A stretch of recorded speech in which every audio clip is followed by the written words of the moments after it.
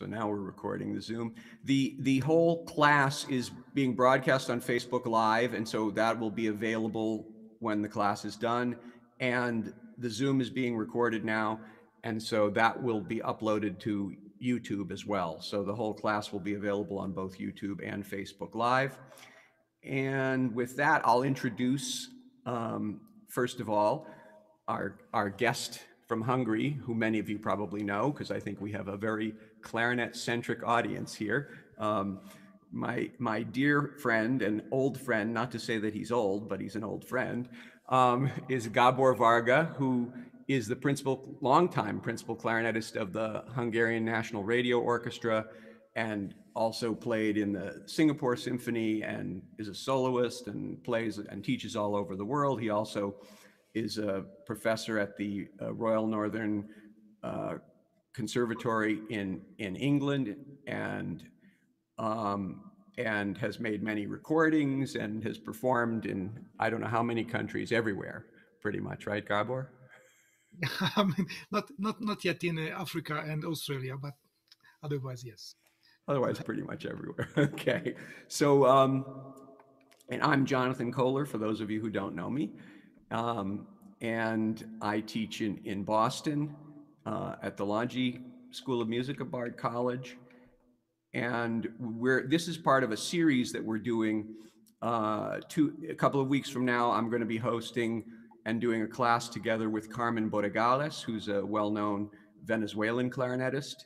And then a couple weeks after that, I'm doing a class with uh, um, Ana, Ana Catalina Ramirez, who's a very well-known um, Costa Rican clarinetist. So this, this series is going to continue, continue about once every other week. So right now, let's get started. We have two students who are both in the UK, um, Ben Pinto and Chris Hardy, who are both students, I gather, at the Royal, Royal Northern, uh, is it conservatory or college? College. College, Royal Northern, Royal Northern College of Music. And in, it's in Manchester, right? Correct. Right. Manchester, I think of near, is about a half hour from where I live, except I think it's a different Manchester we're talking about. Yes. we just we just stole all the names from from you guys.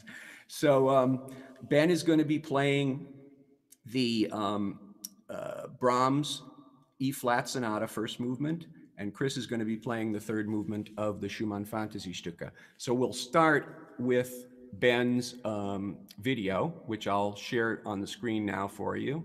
One second, and we'll listen to that first. So this is a three minute video of Ben Pinto, and I'll have the score up on the screen for you to see as well. And here we go.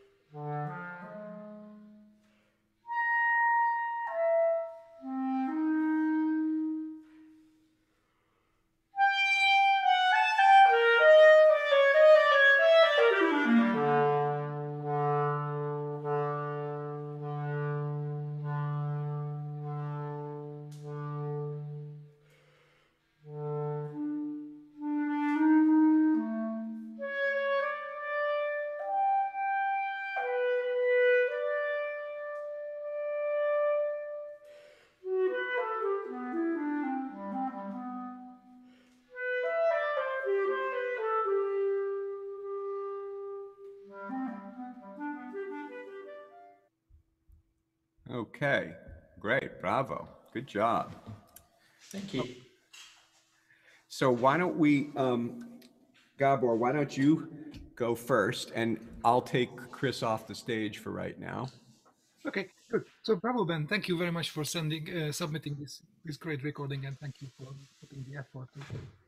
Actually, you sound really good. It's uh, no secret for uh, for us, like we know each other because Ben is a student of mine in at the RNCM in Manchester, but we haven't worked on this piece yet. That's why we choose this because we wanted to work on something what we have never done before.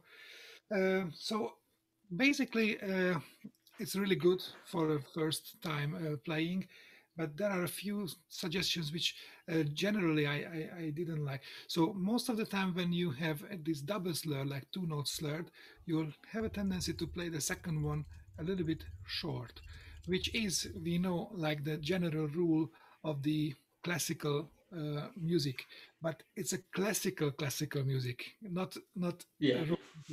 Uh, so I, I suggested to play that a little bit longer most of the time, and also when when you have uh, the slurs, and the, the slur is you know first bar and then two notes and then again four notes all the time when you are having these slurs and you tongue the reed you have a tendency to separate the slurs from each other these are general articulation but that doesn't mean like uh, you shouldn't keep the long uh, phrase uh, of the of the nice theme.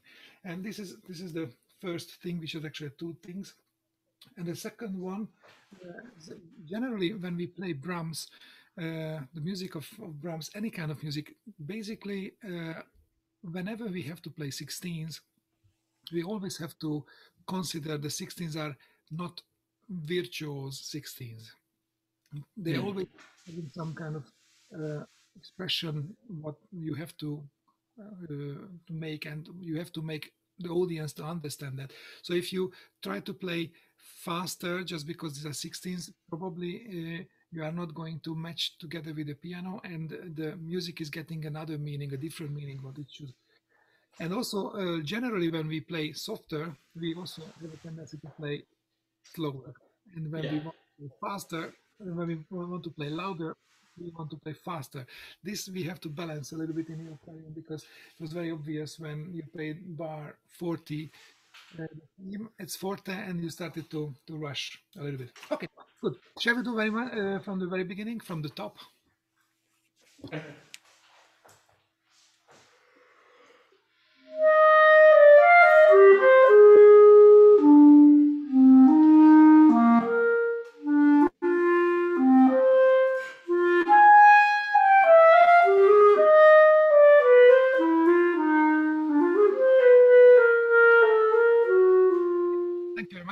it was much better in, in case like you didn't shorten the second notes.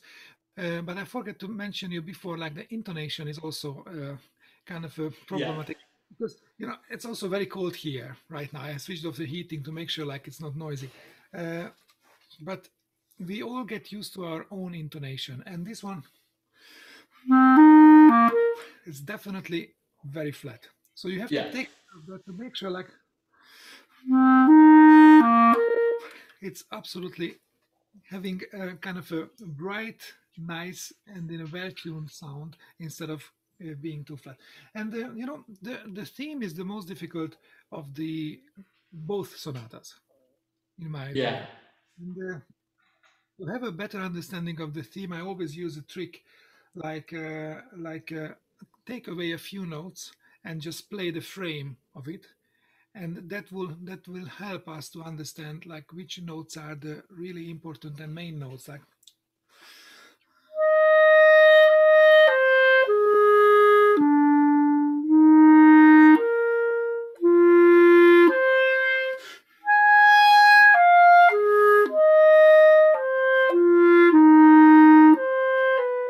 you know if you think of these like these are the fracture the skeleton of the theme. And in that case, all the other notes which are there, the semitone lower, a semitone higher, uh, are not that important like these notes. And also this gives you a, a better understanding of how to phrase. For example,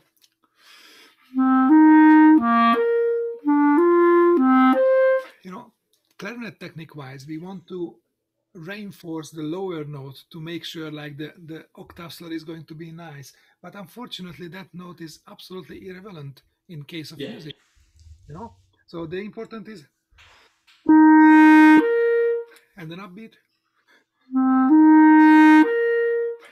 And then we think about the third most important is the lower uh, C. Okay, shall we try it this way? Mhm.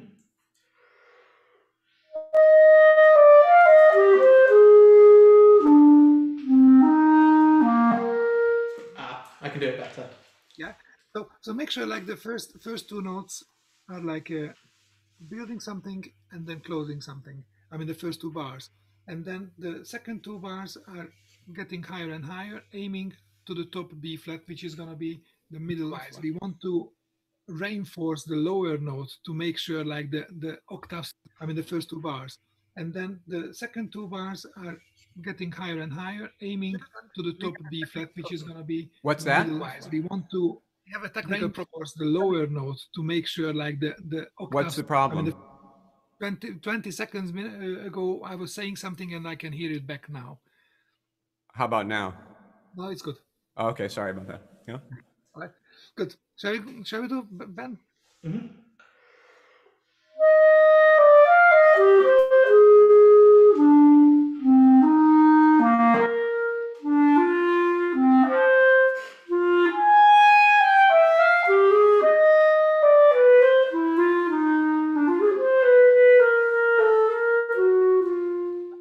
Much nicer.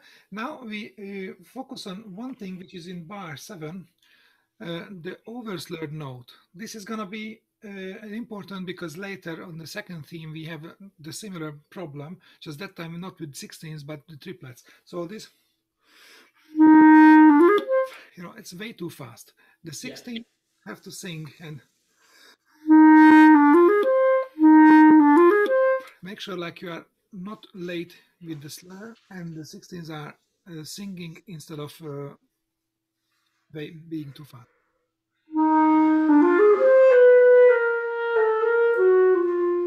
Still, there is a tendency, a little bit of, of rushing. Okay, let's keep going.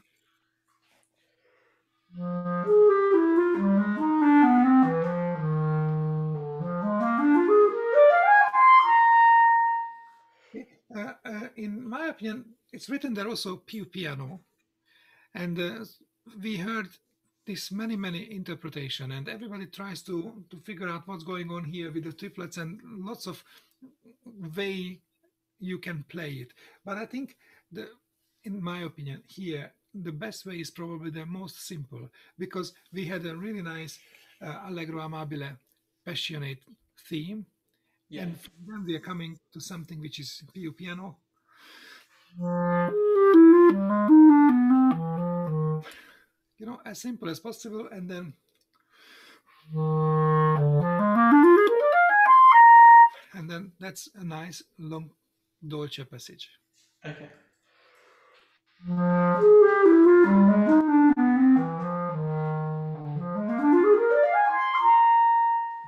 Just just without the rush on the 16th. Yeah. All right, good. Let's jump a little bit forward because uh, this 20 minutes what we have, it's really very limited time, and I don't want to spend too much on it, uh, everything. But I am pretty sure, like you get everything what I'm mentioning. Okay, let's jump uh, bar 18.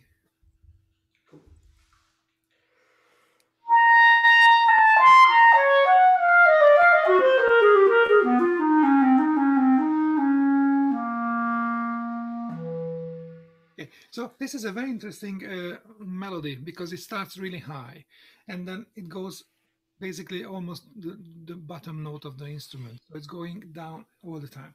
So we have to be sure, like we are phrasing this melody the way how it's supposed to, music wise.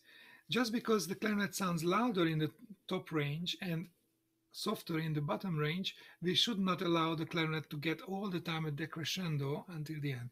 Could you point out like where is the where is the top of this phrase? Like which which note is the most important?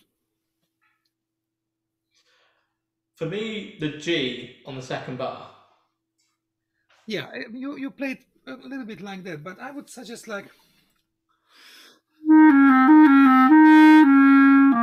I think that would be the the top of the Oh, I see.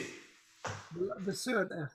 And if you check carefully, uh, this Brahms written there forte, and uh, he wrote the diminuendo on that exact note, not before. Okay. Yeah. the reason why he did that. okay, and, and, uh, also when you start this phrase, you know the piano is uh, playing before you, and you have to come in with a forte, and that happens very often. It's like an Yeah. unprepared, unprepared loud C, and it has a tendency to be too direct and too firm. So make sure, like you try to shape your position for the C and use lots of air and much less tongue, and and that's going to help also for the uh, slur and in the register changes. You know, all, all of these things um, that Gabor told you, funnily enough, are exactly what I would have told you too. So, let me um, say a few th- few other things addi- additional because every everything that Gabor is telling you is perfect. And and you know the, the issue about that diminuendo, um, it's a dynamic markings in composers are structural markings. So when you see a diminuendo, what that means, more more important than the diminuendo part of it, is that that's the loudest point. That's why he put it there. So that, which is exactly what Gabor was was was saying to you there. Um, putting the diminuendo at the highest peak of the melody. That's the that's the loudest point. What you have to play the loudest. Well, it's written diminuendo. Exactly. Um, one thing that I would recommend along the lines of what Gabor was saying in terms of skeleton, which is also perfect, is every every phrase and subphrase you have to decide what's the shape, and the most important aspect of the shape is what's the high point and what's the low point of every small unit. So it, this piece is built out. This whole movement is built out of this falling tritone. Ba- uh, that's the B flat to the E. And that's the B flat is the weakest note on the clarinet. So you have to make more of an effort to make it in that first phrase the strongest note, because otherwise it comes out with the G being the strongest. That's the way the clarinet plays. But the music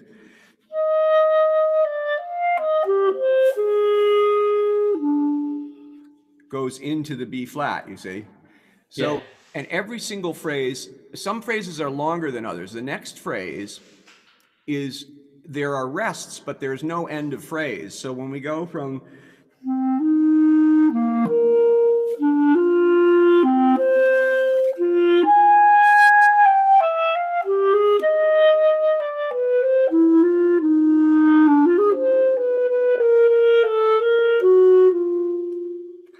every single subphrase in there has a top. So for example, the tendency is to want to go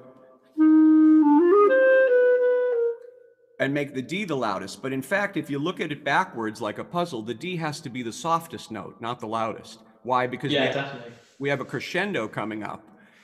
So you want to make the F appoggiatura, the strong note, and then the D the weak note. So as you look at each phrase, you want to look what's strong, what's weak. Now, play that passage where now when let me back up a second. When Brahms says dolce, dolce is one of these words that has no meaning in music. Dolce means sweet. It's like, you hmm. know, sugar and chocolate, right, which has no meaning. So the question is what did Brahms mean when he used this meaningless word, right? And if you look through Brahms' scores, in most of his orchestral scores and sonatas, you, you find that most of the time, almost all of the time, when he says dolce, what he's pointing out is a stronger voice. He has a block dynamic where everyone's playing piano and then one voice is piano dolce. That means that's the one that has to come out. So when he says dolce there, it's in response to the previous piu piano where it's softer. It has to be stronger when you get to that F. And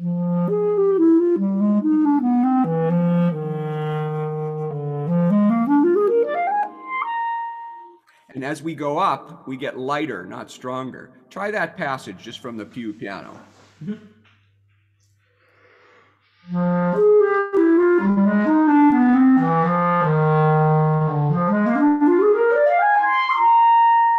Right now, you see how your your high D explodes there.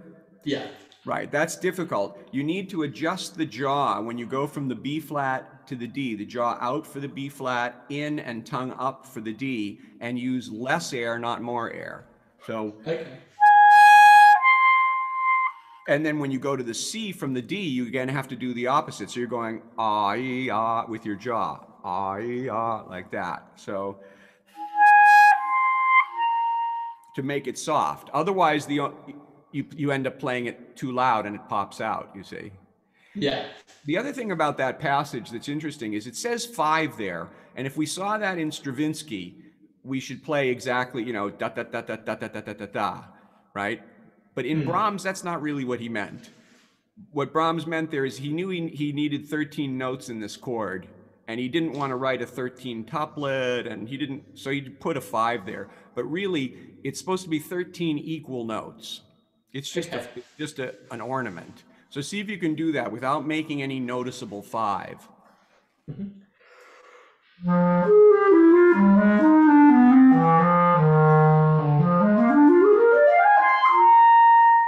It's Ah. better. Still, you hear how loud that D is, right? Yeah. See how soft I did it? Oh. Even Yeah. softer.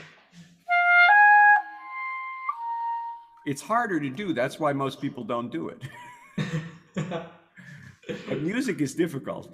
Um, so yeah, that's something you can work on. But in order to make it come out soft, you have to do that motion of the jaw and the tongue. Um, and um, let's see, is there other? That, that pretty much covers that section. I mean, Gabor told you everything. You, when you first played it in your video, you did, uh, and, which is fine, but it's Mozart style, not Brahms style. You see. Yeah. So um, in Brahms, exactly what Gabor was saying. You know, you look for the line first with the skeleton, but then it has to all be connected, even when there are separate slurs. Um, you articulate, but you don't stop the sound. You keep the air going right through all the notes. You know. Any any other thoughts you have, Gabor? Oh, yeah. Uh, just perhaps later when we when we have the question and answer section, we we could talk about the differences which you know you were mentioning this this phrase and the top D. And Yeah. this French instrument is it's really challenging. But on a German clarinet, what is written for originally, it's a piece of cake because there is no register change between the C and the D like we have. Right. So Brahms was a, an, an incredibly good composer, and he knew very well the instrument because he worked with Mühlfeld, obviously. So he didn't write this because uh, it was difficult for. So he wanted to give us a hard time. It was really very easy on a German instrument, and you played also with a nice vibrato. Which uh, we can say thank you and thanks for Brahms writing and Mühlfeld writing these symphony uh, sonatas because that was the main thing what Brahms loved in Mühlfeld playing the very intensive uh, stage presence and the beautiful vibrato which not many other players used. So that's why Brahms have decided uh, to come back for composing because he retired already and uh, and written these uh, wonderful sonatas. Anyway so let's keep going Ben. Uh, so would you be so kind to try then the bar 18 where we stopped with the softer uh, forte and make sure like you are aiming to the uh, F note in bar 20.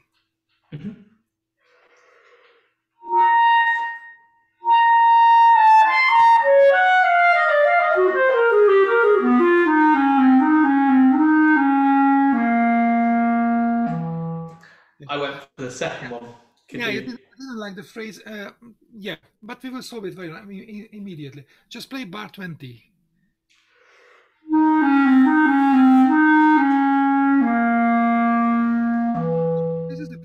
Like, the first F is a bit too long, and therefore the line is stop. And then you cannot move forward. So play that way, like the first two F is aiming to the third one.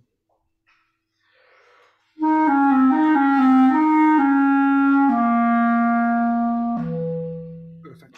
And now, if you play the first two bars, bar 18 and 19, and stop there, and try to sh- um, try to play that way. Like I know it's it's very challenging, but you should not rush with the 16s, and the Okay. 16s are not much faster than the triple. So. And make sure, like you are, uh, how to say, trying to to to shape and uh, also pronounce the third 16 not rushing through of those. And in that case Thanks. not going to rush in general and will be easier to play.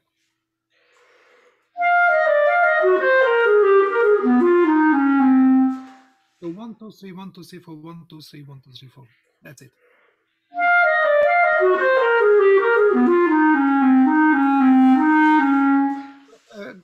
what is difficult here like we want to play really in a romantic way. We want to play really very passionate. But if we play very passionate and at the same time we are not aware of the exact rhythm and the importance and the difference of between the notes we are playing very passionate. Just we end up like you did like uh, you played really well just you didn't like it very much. Yeah, yeah, first you, you play the exact rhythm and then you can add the passion and you can the, you can add the interpretation and that's gonna be the perfect. Okay good. So let's go to the sottovoce the next part. And uh, jonathan already pointed out at the main theme the first theme like when we have a break that doesn't mean the music has a break. Mm, It- definitely. try to, try to shape it's also a perfect nice eight bars uh, theme. Uh, try to shape as it has to be here's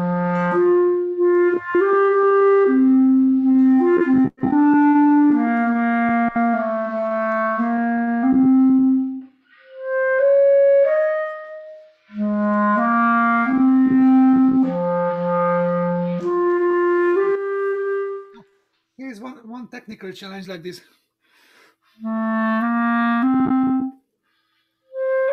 And it's it's already way too late. So what is happening here we have a piano echo pianissimo echo answer.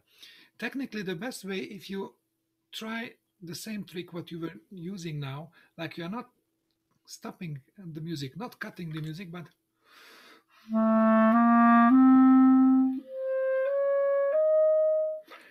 and also not stopping the airflow. Just make sure like the airspeed is probably lower and the color of the sound is a little bit different but it's still combined to the same music. Just these two bars please.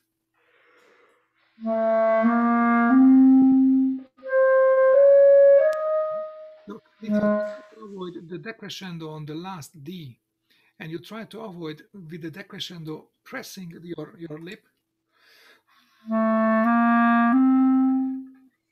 You know, it's going to be very difficult when you step an octave higher. If you try to avoid the decrescendo and keep it open,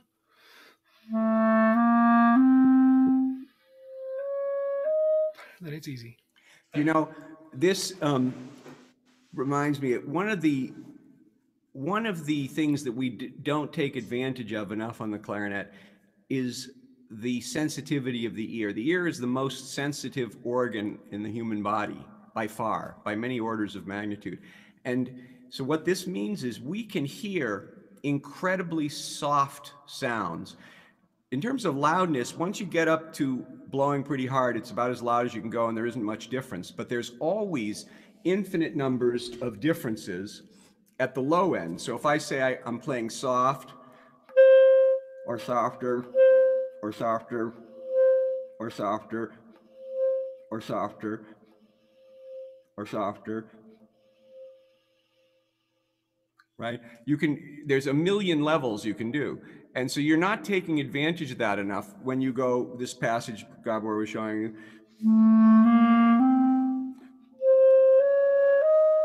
The pianissimo can be much softer. And then the next measure also starts at the pianissimo.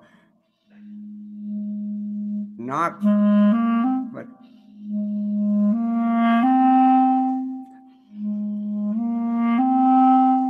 right? So there's much Yeah. more difference. So if you take advantage of that capability of the clarinet, it, it makes the music much more expressive and we can hear all that detail. you know? Definitely. Maybe we should, maybe we should go to questions now because I think we're, we're sort of at the time we need to. So if, um, if anybody has questions, put them in the Q and A.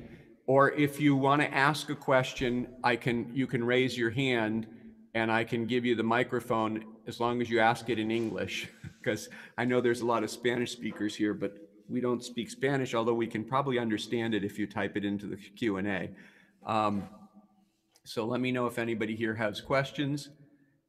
Um, let's see what we've got. I'm not seeing any questions in the Q&A. I'm wondering if it's working. Is it working? Oh, I have received your message, like submit your questions, but Right. Yeah. yeah. Well, maybe we just don't have many people asking questions. That's possible. Maybe Last we time. We just started to work a little bit, and the time is already over. So until then, there's uh, somebody we figure out an, another question. Ben, just I wanted to tell you, like Yeah. uh, that passage where we we fa- fade off your recording, like uh, bar seventy eight. Yeah. Also, the, the previous few bars. So it's also written that dolce if you check. And uh, Jonathan already mentioned, like when it's written dolce, that's the main line, and that's uh, always together with the piano. Like it's it's like uh, it's not your your uh, phrase, it's not your uh, melody. It's you have to combine together with the piano, and you have to try to play the same kind of articulation. You play the really short notes, like you know, the piano is having the pedal Yeah. So definitely, it's not possible to play such a short note on on on piano when the pedal is down, and also you have to play that way, like to build up the phrase, because later you will play the first half and the piano is going to finish it. And uh, previously, when it's written at bar 74 with a pickup like Dolce, I had the feeling like you want to move forward and uh, you don't uh, consider the phrasing the, the line starts at bar 69 Mm. with a sotto voce and Yeah. 78 with the pickup. So basically, when it's written dolce, that's again the middle of the phrase. So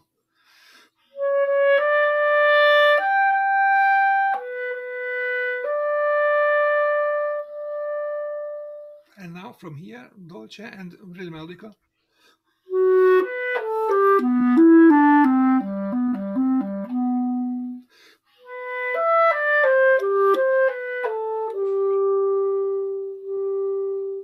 Here you will start a new phrase. Okay. Thank you. So, any questions then? Yeah, um, we have a question here for Gabor. He want, uh, someone wants you to say more about airspeed, especially through rests. Interesting question. That's a nice question. Uh,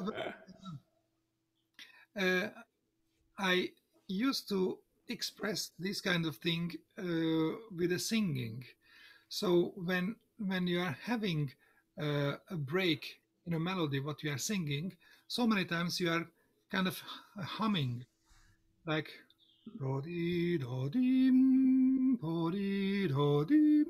you know, you're not singing. You close your mouth, and you are not saying the, the you are not actually saying anything, but the airflow is behind, and maybe you are even humming, and that's what we should eh, somehow imitate on the clarinet.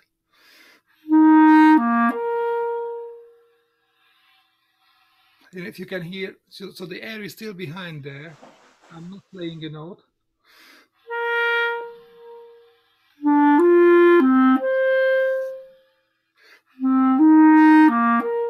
Instead of this, so not a sharp stopping of the air and make sure like uh, like the note is dead in that moment because the note has to stay alive. Of course, I don't say like hold it all the time.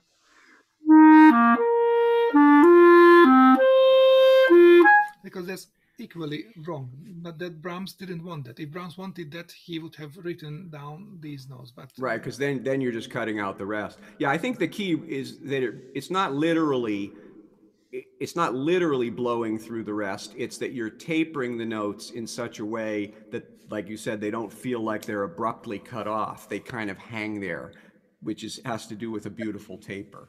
yeah and and uh, uh, you have to keep that kind of position like to be ready immediately to start the next one because you know the most difficult part of playing clarinet is the starting process of the note you know uh, uh, so if you want to start a note and it sounds like this. If it's not prepared good embouchure not prepared the airflow you haven't taken a breath before uh, it's everything is un, unprepared and the result is also not uh, good enough.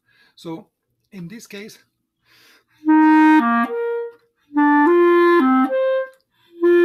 if you stop all the time every each new note what you start to play is getting an accent. And the accent is unveiled there because those are the notes which are pickup for the main note and uh, and not not really important. So if you play with the right technique you're just not managing to hang the note in the air which is very nice but also you are managing the next note uh, uh, to start the next note in the right and uh, and uh, and proper way which is also fit into the music better.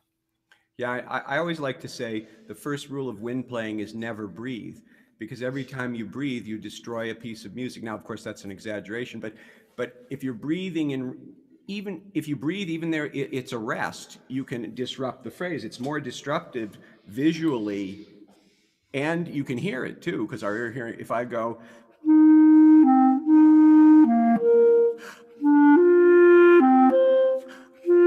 That's much more disruptive than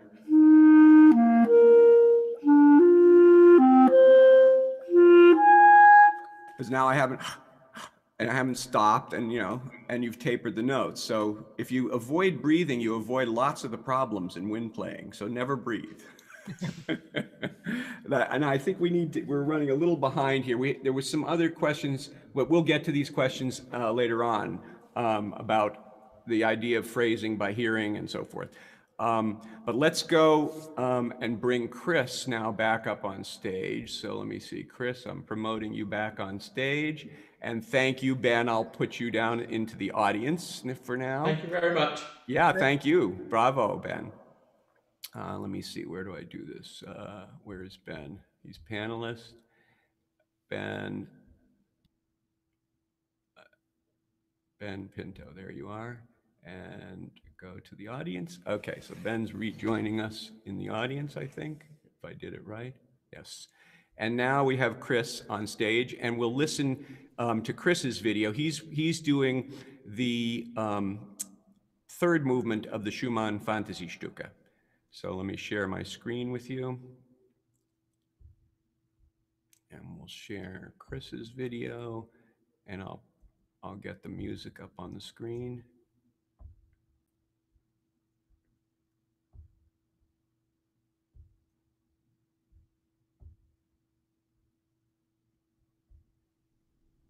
Mm-hmm.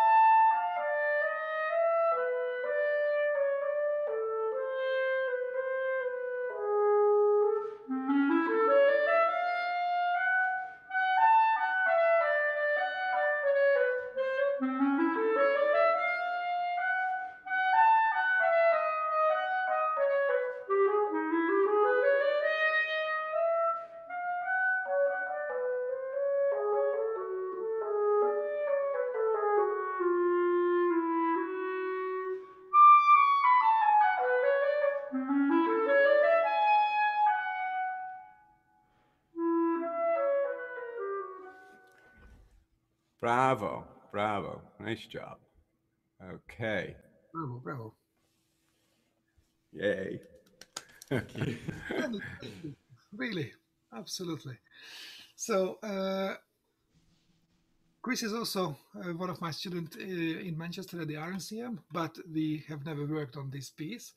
And I'm really, really impressed of your first uh, uh, playing because I think you have chosen this piece just like couple of days ago, if I Yeah. remember. And I'm not sure if you have had a lesson uh, on it with anybody. And it's really, really fantastic. You're bravo. Okay, so uh, again, let's start with a few general things. Like uh, I think many of us have played these uh, these these wonderful movements, and it's hard to believe Schumann has just composed all three movements in two days. I mean, this is unbelievable. Like he was able to to to do something such a short time and such remarkable pieces, uh, and and we all faced with the challenge of of uh, of the air support. And uh, if I notice well, you had also kind of a big trouble uh, before rehearsal number D, and uh, so that would be the main and the most important to to solve it. And the second thing is like, uh, of course, we all play different instruments, different brands. Uh, you have a beautiful Devian clarinet, which is an amazing instrument, uh, but all different clarinets has different intonation issues. In your clarinet, the the full B is a little bit flat, and the top E flat is also a little bit flat. So you have to be careful when you play these two notes to make sure, like, like uh, they are not uh, uh, out of the not just the instrument intonation, but also the harmony intonation. Mhm. So how could we manage the the breathing, uh, breathing, breathing uh, better? So most importantly, I would say something else which you think is not related to this point, but actually it is. So all the time when you are shaping down a phrase, you have to finish the phrase first before you take a breath. Because let's say if, if you play this way, like um, whatever.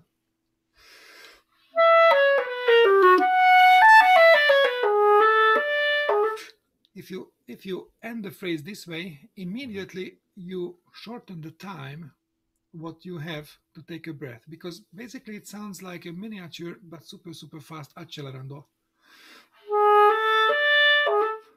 You know, if you play the rhythm and you shape it down, then you have also more time to take breath. So this is just that simple. And uh, one more important thing I forgot to say: uh, after B, the third bar after B, we have an E flat which is slurred uh, from the second bar to the third bar. That has to be slurred. I don't know which edition you play, but you always tongued it like. That should not be tongued. It has to be Yeah, slurred. no, it is slurred in my. I'm playing off of Wiener Urtext. Um, I don't actually have rehearsal markings, um, but I know I know what you mean. Um, yeah, it should Basically, be slurred. almost all the time you you tongued it. Okay, let's go. uh, let's go back to the top and start from the from the very beginning. Yep.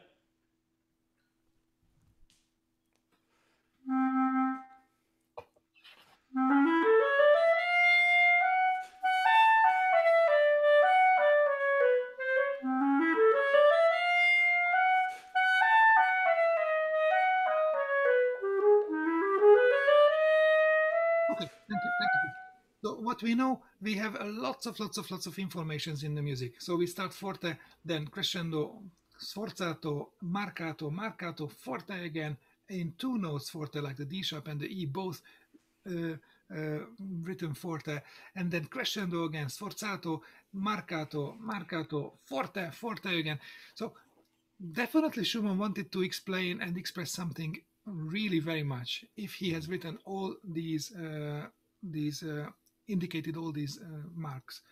So let's go step by step. What is important? So all the clarinet players we want to play this way. You know aiming to the leading note. The only problem at the same time the piano has tika tika tika, these uh, triplets there. So if you play with a really big accelerando aiming to the top note, the pianist will not have a chance to play uh, all the notes. And we have to find a different way of expressing uh, this mit Feuer, so with fire way of playing. So if you think of the cello version, which was just a few days later ready than the clarinet version, uh, there are 16s like dum dum dum dum dum dum dum. dee, dee. That if you're thinking of that, it will help you not to rush while you are playing the crescendo and try to extend and make it more more uh, how to say dramatic. Obviously now I overdone it, like, but this this would be the and with this G sharp and A arriving to the top, uh, that's not the end of anything. This is kind of an introduction of some, something which will be like.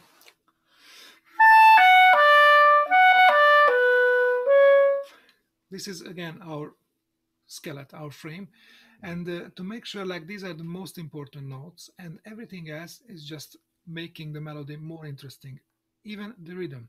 And the rhythm has to be super, super precise because you play eight notes and the piano plays triplets. So we need that dotted rhythm.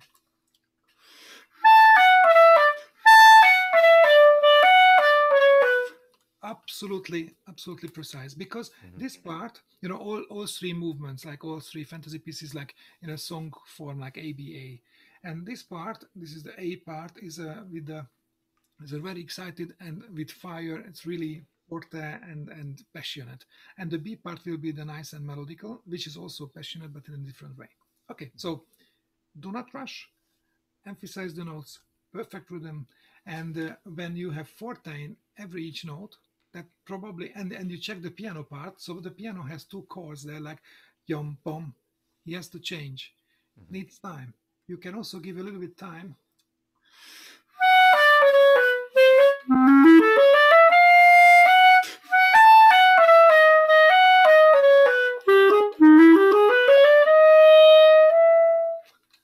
and shape it down the end. Okay? Okay. Yeah.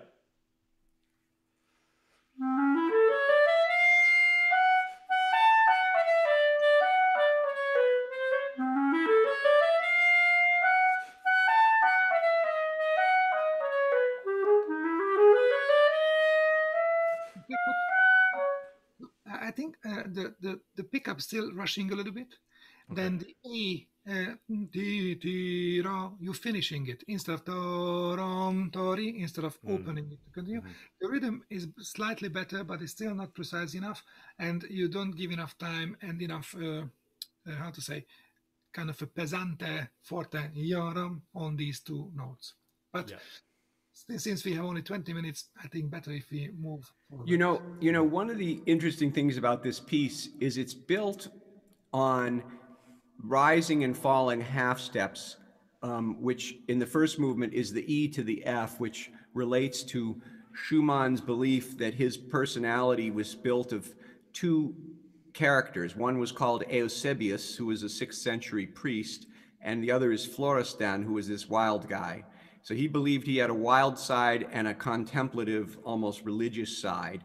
And he represented those by the notes E and F, or rising, or the F falling back to the E. And here, what he's doing is he's extending that idea and he's rising up finally to the A. He, all these are half steps, right? He goes, uh, and then, so the, the, the goal of that phrase is the top note. It's not the second beat, it's the next downbeat.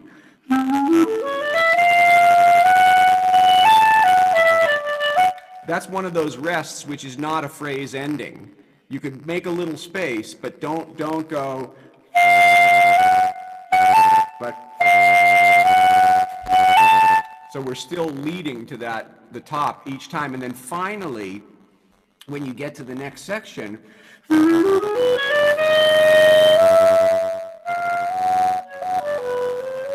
That one finally relaxes down, and again, not a break in the rest, you know?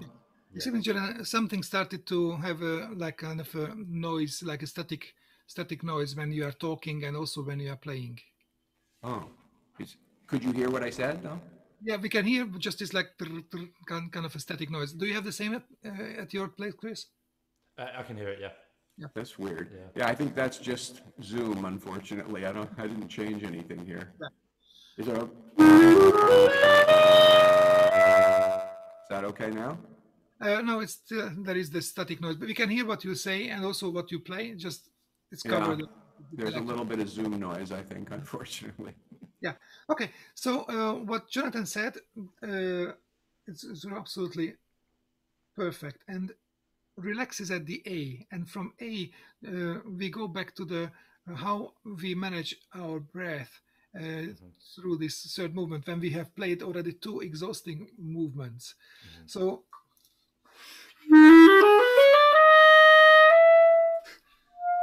You know, if you relax and you shape it down, then you have plenty of time to take a breath. And then you can start really nice and soft playing there. Shall we uh, try from there, just from uh, the second bar?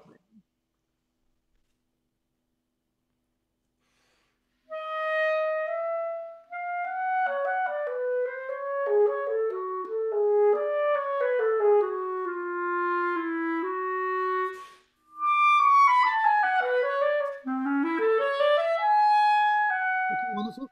I would suggest you not to take a breath uh, before the D sharp. You know, it's just Yeah. only one and a half bars, so you can you can manage it. Maybe you will suffer a little bit, but uh, you know you have to get used to that. And also the other thing is, uh, Schumann here is mixing the the different elements of the different movements. So this one.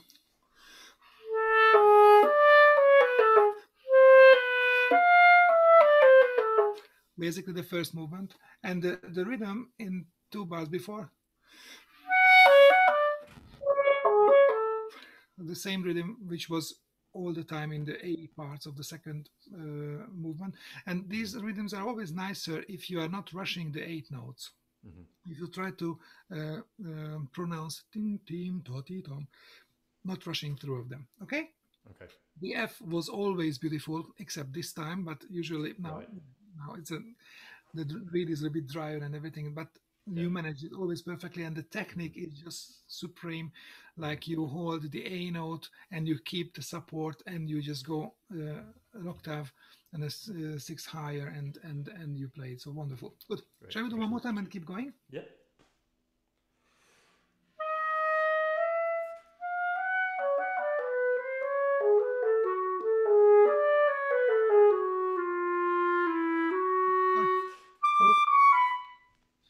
would like to ask you not to rush the eight notes. You know, it sounds like.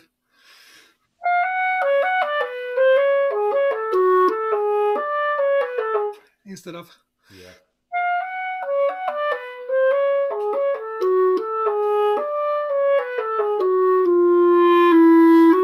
Because you will have plenty of time to speed up at the end of the movement where it's written like schneller, noch schneller, and so on. You know, here it's it, this is the moment when you can when you can. This is kind of a, a remembering back, like like a refresh, like uh, everything was nice and beautiful and romantic, and then again comes the the the new uh, this with fire kind of way of playing. Okay, Yeah. one more time. That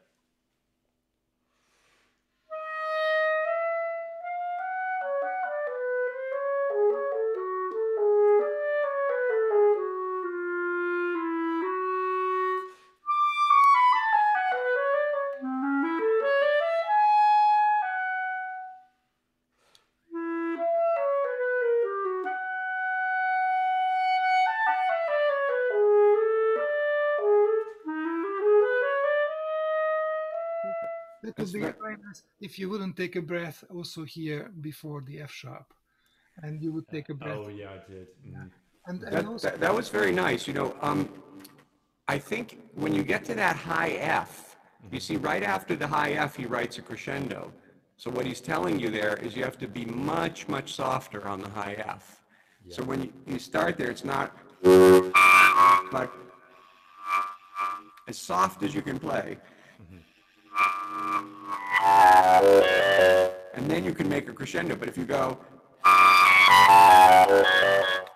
it not only is there not a crescendo, there's a diminuendo which kills the line that he's making.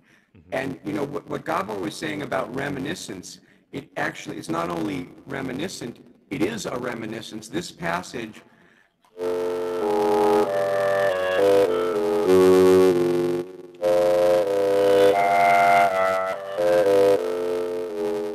first movement. It's a literal quote from the first movement. So when you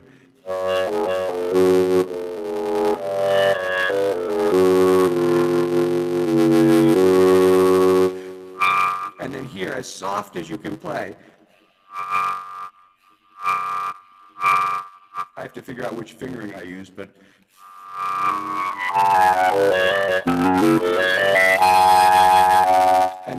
Have a real crescendo, you see? Yep. Want to try that? Try just from. Uh,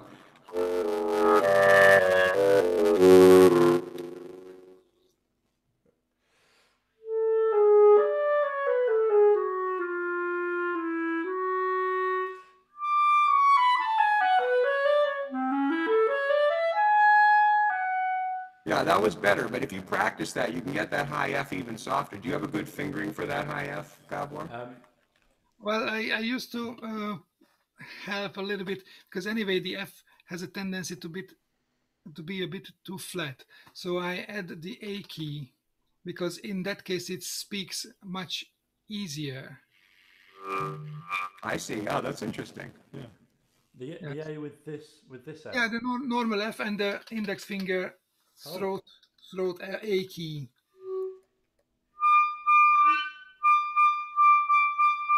You have to voice it a little differently, but Yeah. yeah.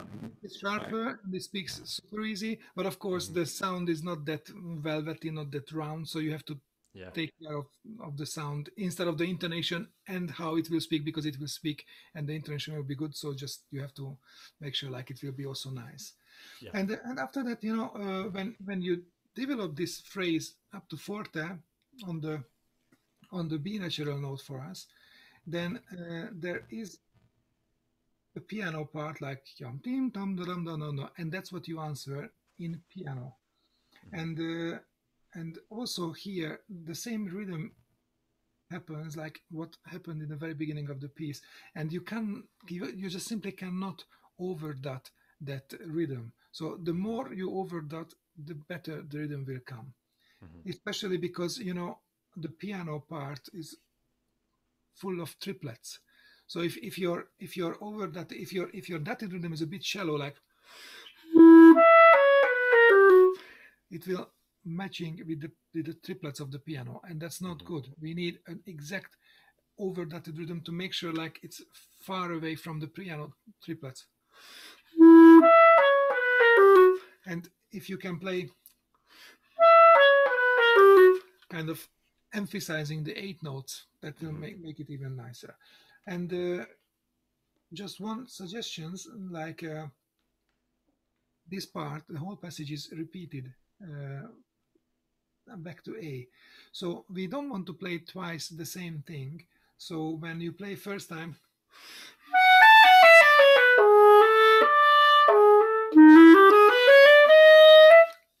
you better if you keep it forte and maybe second time you can have it a little bit not totally but a little bit shaping down like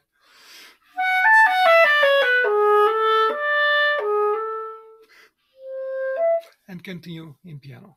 You know, that, that phrase is an interesting one too, because you need to know the, um, what's going on in the piano. And when you get to that da da da da da da da phrase, the piano plays a bunch of block octave chords, da da da da da da. So when they play it, first of all, it's very percussive, number one, and number two, it usually it takes a little time to get to some of those chords just naturally. So it, it often goes da da da da da da da, something like that. So you, even though there, in our part there's just a slur, within that slur you need to do some inflection with your air to match what's going on in the piano. So something like.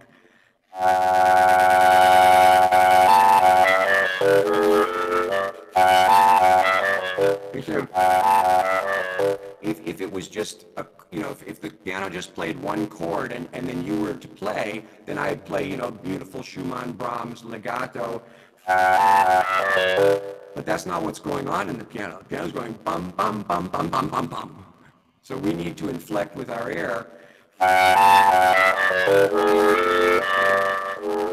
to match that and to balance that texture, you know? Yeah, exactly. Jonathan, I'm sorry uh, to interrupt you. Again, uh, the electric statical noise is even louder now. I don't know. What's I don't wrong? know. I Someone in haven't the changed Jonathan, anything. has suggested just unmute, muting and unmuting. Maybe try that. To mute, unmute my mic, you mean? Yes. So someone in the chat suggested doing that. Okay, let me try.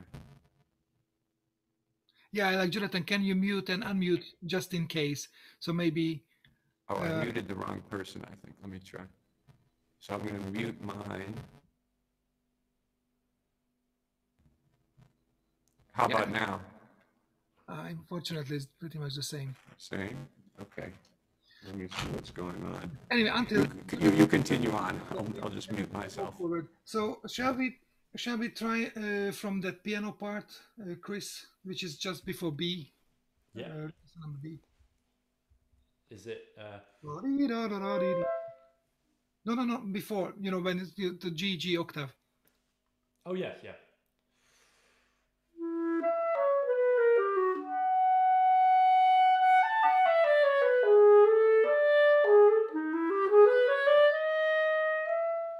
Okay, good. So uh, I have the feeling like you are playing it really light, Mhm. like like easy. This is not an easy music, and it's not light music. Try to make sure, try to try to fill up with some kind of uh, body in the sound and uh, and more expressions. Okay, shall we do one more time? Yeah.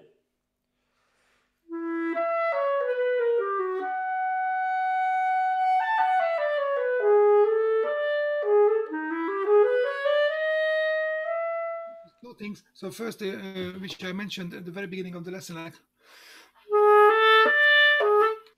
make sure like the last note is not this short and not getting an accent.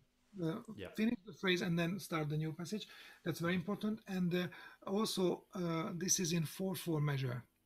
Mhm. So I have the feeling like you play like in two two, like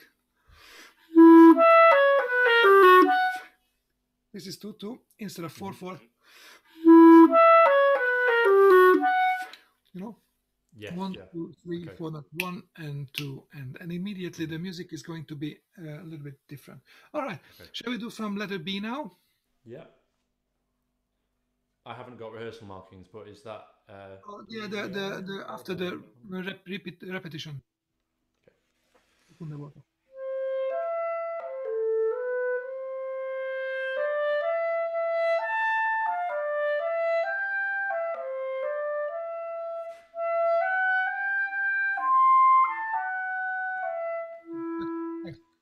I, I did have a I actually no I did have I do have a Divine and unfortunately on the Divine A clarinet the flat.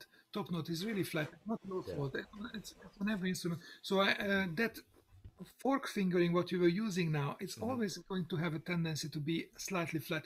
So try to use another one maybe the fourth finger not Yeah. the yeah fourth. And if it's still flat open the tone hole the F tone hole like uh,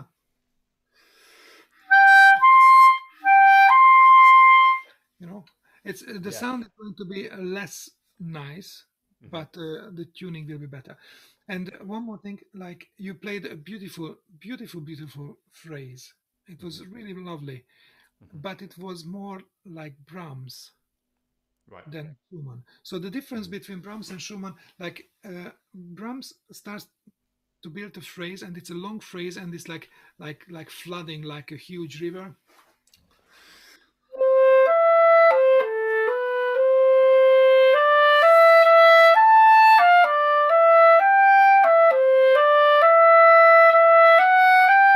this is the way how Brahms would phrase a nice melody. But Schumann is completely different. Schumann is, uh, uh, you know, keeps everything piano. If you check carefully, there is everything piano. The first time when it's forte, you have that's that's in another passage. This passage is fully piano with sforzatos and a little crescendos which are leading to sforzato. So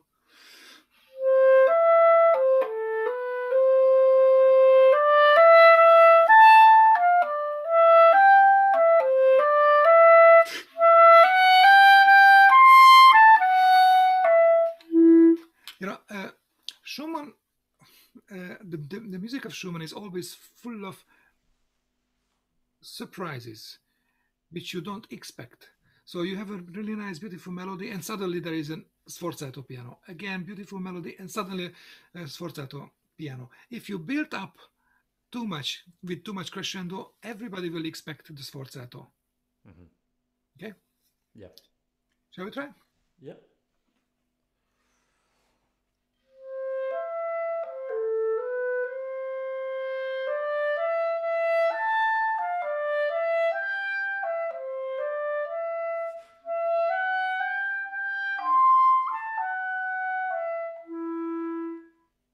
Yeah, That's- something like this. Just make sure, like uh, uh, you you are going to be a little bit braver to to have these forte pianos and sforzatos expressed. Otherwise, it's Yeah. it's getting really nice. Good. Shall we continue? Um, can I um, uh, butt in just for a second here? Um, is my sound better now? I replugged Yes. the microphone. Yes. Yeah. Perfect. It is? Huh, okay. Um, one, on those forzandos and accents, the other thing you need to decide, it's like in Beethoven um, and in Brahms, when he, when the composer puts multiple accents in a row, whether accents or sforzati or forte pianos, you have to decide, make a decision which ones are more and which ones are less. They're not, they're never the same. Unless the, unless the composer writes sempre simile, they're never the same. So for example, when you start out here on, you have a forte piano, then the next measure is an accent. Now, is the accent more or less than the forte piano? I, I interpret the accent to be much less than the forte piano because forte piano literally means forte then piano. Accent just means an emphasis within the dynamic, and what's the dynamic at that point? It's piano. So if you do.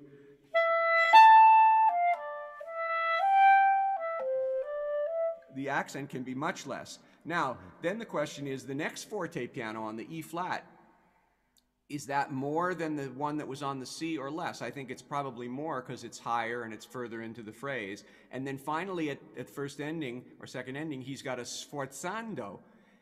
And my so my feeling is then that the sforzando is the destination of all of those. So that and and it's just and it's not a forte piano, so it has to sustain. So whereas is forte piano and has to be different, you see. And one little technical thing, and we should probably go to questions soon, but um, the high E flat is very flat. You know, the standard fingering on the clarinet is flat. So you either have to open up the thumb hole, but that's a little too high, or you can go to middle finger with the open thumb hole, and that's about right. And then get the right pitch. Otherwise, we get, and it's very flat. Now, as clarinetists are used to playing flat there, and so they think it's right. But the fact that everybody doesn't does it doesn't make it right. It's still mm-hmm. wrong. It's still flat. It's out of tune with the piano. So you really mm-hmm. need to modify that fingering somehow. Mm-hmm. There are other kind. You know, you can finger it here. You can finger third finger. You can open thumb hole. You can pinch. There's a variety of things you can do. I don't know what what you recommend there, Gabor. Well, uh, I just said the same thing well, until you were checking your microphone. The uh, this fourth of third finger and open the thumb hole.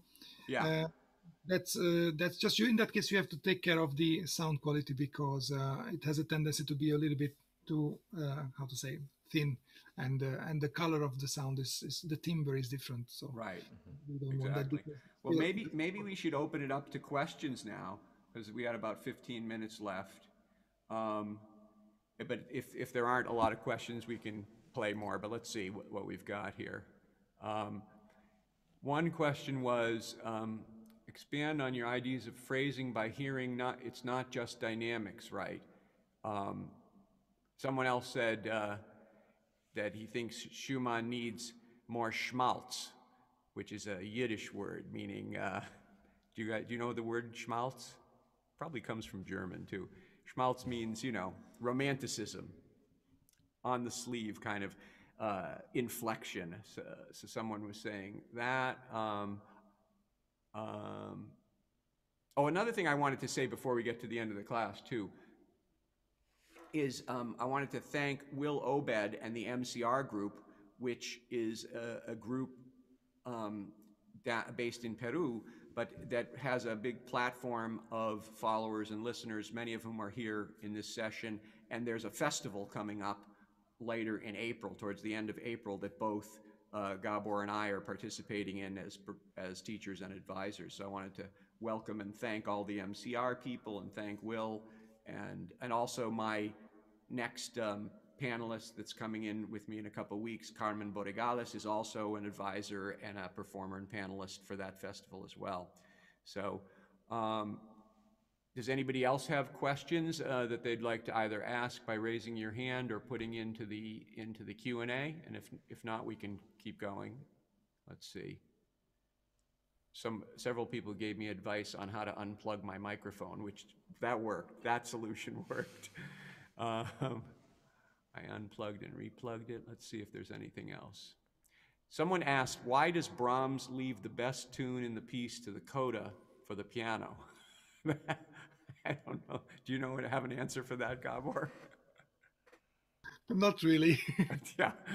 Who knows, right? Who knows? Yeah. Thank you, Emma, for the nice question. If you if you know the answer, please let us know. um, yeah, and Igor suggested another fingering for the E flat. He said third finger, right hand, and the C key. So third finger, and then this key also sometimes works, you know, for the E flat to help it.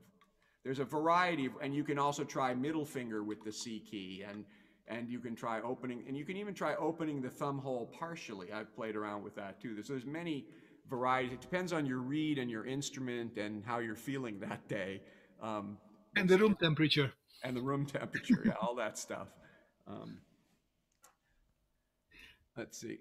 All right. Um, right, and, and, Igor said no, second finger with the C key, yeah. Carmen said, uh, best hey, regards. Hi, hey, Carmen, how you doing? That's Carmen who's going to be joining me next time. Glad to have you here, Carmen. Also, in, in the E flat, uh, you can have also that kind of finger, like a middle finger on the right hand, and you add the G sharp key on the on the left hand, so that also raise up the pitch a little bit. But uh, oh, again, that's gonna change the. Tune. That raises quite a bit, yeah. Yeah. The thumb hole is more subtle. There's also this fingering where instead of playing the you, you play the E flat with the finger on the first pad, not on the hole, but here. Mm-hmm. So it's a very nice sounding fingering. It has a good tone quality. It tends to be on the sharp side, but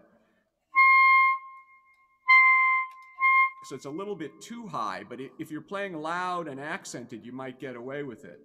Yeah, And in that, you know, in that case, we will not find a good fingering then just leave it to the cellist to play it.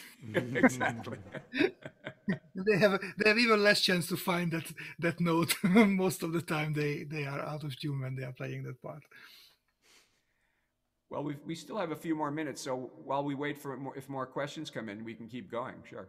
Okay, good. So, uh, shall we continue, Chris, from the yes. where we stopped, with the F and the A flat?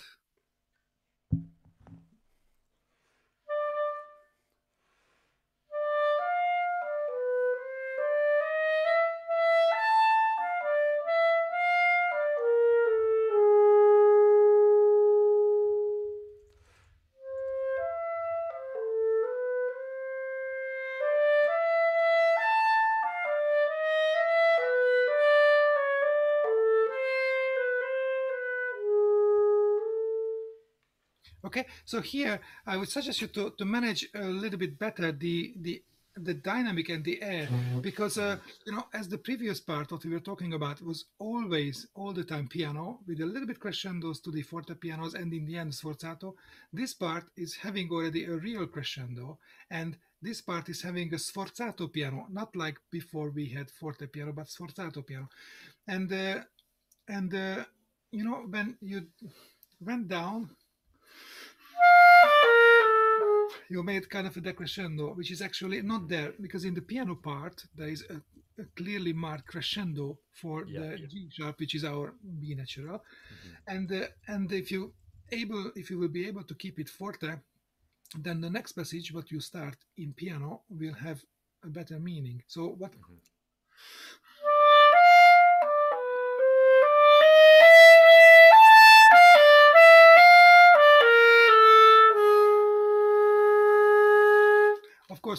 when you arrive to the B natural in forte, you can drop down a little bit the dynamic to make sure like the piano can bring out uh, all those passages what what the pianists have, but make sure like you are not making a decrescendo as you are going down, and also the dotted rhythm should be better like. Uh, you know, the easiest way is always ma- the mathematic. Mathematic is never lying. It's always the universal truth. So if you play like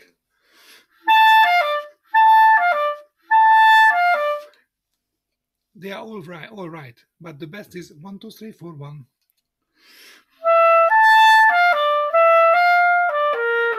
That's always perfect. And you know, in this in this passage, uh, Schumann developed this a couple of concepts that he sort of created. One was dual tonality. That had to do with his dual personality, where he would, in often in many pieces, he has F major, A minor at the same time, as in this piece, for example. Um, but another concept that he created was what he what is called now rhythmic dissonance.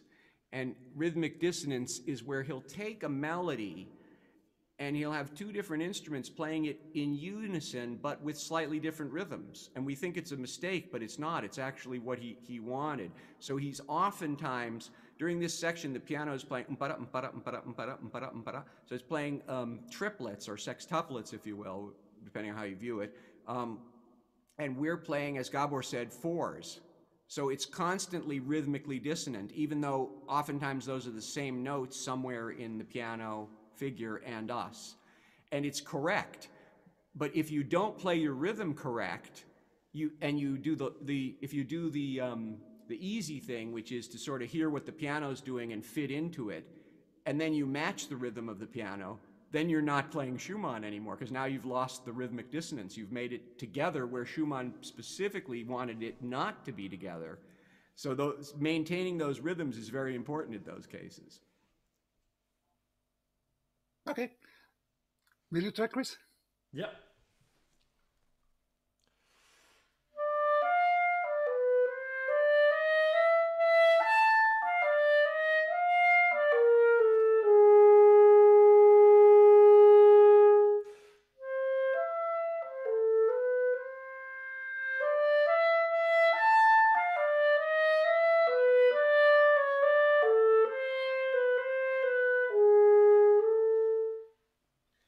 Yes. Uh, uh, very nice. The dotted rhythms are much better. Just make sure like the eight notes are not rushing. Okay.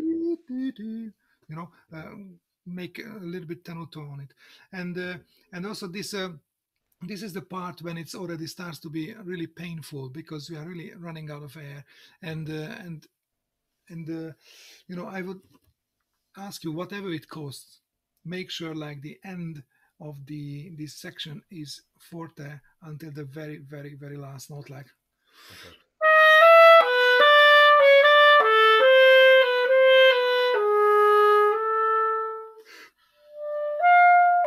so you can you can make the repetition in piano and uh, and uh, in second time again still forte and then you continue forte to the part a the kind of a recapitulation Mhm. good all right uh, By the way, somebody asked, um, does anybody use, do any of us use synthetic reeds? I, I don't think Gabor and I do, right? Um, no no it's a D'Addario reserve classic which is super dry at this moment Yeah, I, I use Vandoren. Do, do either Chris or Ben use?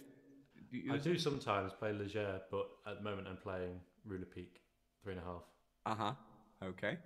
Yeah, but this is good, good, good uh, uh, chance to say uh, the opinion about this topic. So, if anybody prefers the plastic or synthetic reed uh, against the cane reed, you know, I think in our case, we we started to play clarinet like billion years ago when dinosaurs were walking around the streets, and uh, and uh, we get used to the cane reed feeling. So I even though I, I feel the advantage and the, the best part of the synthetic reed, for me personally, uh, I somehow miss the the cane feeling when I'm playing, and uh, and whatever I understand, like the synthetic reed is a lot more perfect than the best cane reed, but I still miss something in the synthetic reed what the worst cane reed is having. But probably those people, those clarinet players who are who are just start to learn to play the clarinet and they start to use synthetic reed, they will get used to that kind of feeling, that kind of uh, sound conception, that kind of uh, uh, general way of playing what the synthetic reed offers, and it's shaping our way of playing as well because definitely uh, you have to get used to it uh, obviously. So perhaps perhaps the new generation is going to use the synthetic reed a lot more uh, I mean, a lot more people will use them than than our generation. Yeah, a lot of people are using them nowadays. The and the the the um, uh, Silverstein has the the Alta reeds that a lot of people are using nowadays. I know our colleague um, Wenzel is playing on those, Oh, and I have a couple here that I've been playing around with just to experiment with, but um, uh, I haven't quite figured out how to make them work in the Altissimo register for me yet. Maybe it's my mouthpiece, the combination with the mouthpiece or something, but I think also the the mouthpieces has to. But you are the physicist, so you can explain us this much better than I will. So the the the cane reed, which is like a, a natural material, uh, is actually when when we blow the air and the the reed is tighted to the mouthpiece with a ligature and the air is pressing it so the reed forced to move so it starts to uh, we think like it's flapping but it's not flapping it's vibrating basically and uh, the the synthetic reed i think it's not vibrating and like in waves like the cane reed does but the synthetic reed really flap, flapping probably Well, yeah, they try to make it. They they've done a lot of physics on this stuff, and they've tried to make that make it emulate the cane reed as much as possible. And it's very close. I mean, for most of the register, you play it and you can't tell the difference. For me, the only real noticeable difference is still in the altissimo. But but I know, for example, with people who play on the v- Viennese mouthpieces like Wenzel, which is a very small, short reed. For him, it, it works beautifully. His and he, he can play every register, no problem. So, you know, it, it all depends on how you play, what your mouthpiece setup is, and how well matched it is. Um, that, that- that's what I wanted to mention. Just because the cane reed and the synthetic reed has a significant difference in the mechanism, how they act when when they are forced to move by the air pressure, uh, the mouthpiece curve must be very different as well. Because uh, what is good for for the cane reed is not necessarily is going to work on the on the synthetic reed. And because we are using French mouthpieces and French reeds, uh, we have a serious disadvantage to those people who are playing on German system with really close mouthpieces because somehow uh, that those closed mouthpieces are less curved, they're more straight, and that's matching better with the synthetic reed resonance, I guess. And also, you know, the instrument is different. We were talking a little bit about uh, this in the case of the Brahms sonatas. Like the German clarinets and the French clarinets are very, very different. And of course, with the globalization and like listening uh, different players from all over the world now we can't say exactly like which is the this school that school and this is french clarinet that german clarinet but perhaps still the biggest difference is still between the french and the german instrument not like different schools like the french school and the us school or russian school at this moment at this, mom- this moment. And uh, the german instrument is having that kind of feature like the sound is super super even in all registers and it has this very very similar color from the bottom notes till the top notes. It has a, uh, less tendency to to to play really bright like sometimes it happens on the french clarinet what we don't like and somehow i think also not just because of the mouthpiece measures and physics but also because of the characteristic of the instrument the synthetic reed is just matching there better than than on the on the French instrument. yeah, this this person here said he's been playing for 60 years, but uh, but he really likes the, the synthetic and finds it even easier for him now than than the uh, than the cane reeds. Um, we're coming sort of to the end here. There was one more question. Um, which was uh, asking about whether or not you always vent the the middle line B. I, su- I assume they mean the B flat. Um, um, or just sometimes, and how do you decide? Uh, you wanna you wanna go first, Gabor? well, so uh, so like what fingering are we using on the B flat? Well, he wants to know whether you vent it or not. I assume he mean by venting. I assume he means different fingers. You know. Yeah, I, I always always uh, use different fingerings on the on that B flat. It depends mainly on the music, but also what kind of color we want and what intonation we need because you know that's the most important and that's unfortunately depends on the on the temperature of the instrument so here is really cold just as i said like uh, i switched off the heating to make sure like it's not making noise. So the instrument is cold so if i'm not adjusting too much it sounds quite much in tune. I don't listen my super super dry read at the moment. But uh, it's always good if you try to uh, involve more body of the resonance of the instrument. Basically Right. if you if you cover some of the tone holes here even even putting down the c key that means like this part of the instrument is involved into resonance but all the all the air is going out from these tone holes so the intonation will be better the resonance will be better and the sound will be more pure in a way like uh, basically all the features we get what we want. And uh, you know, some of the players for example andrew marriner the legendary uh, clarinet player he always whenever he can he's using the side b flat to make sure like it's it's in color it's the same like every other note of the clarinet Yeah, I usually, if if I can, I my favorite fingering is usually B flat, two three, two three, and the C key. However, if you're playing it really loud, that might be too flat. So then I might lift these up, right? And if you're, it also depends if you're playing a fast passage like a scale, you don't have time to get those fingers. If I'm going, I just use the regular B flat right? Because you don't have time to grab a lot of fingers.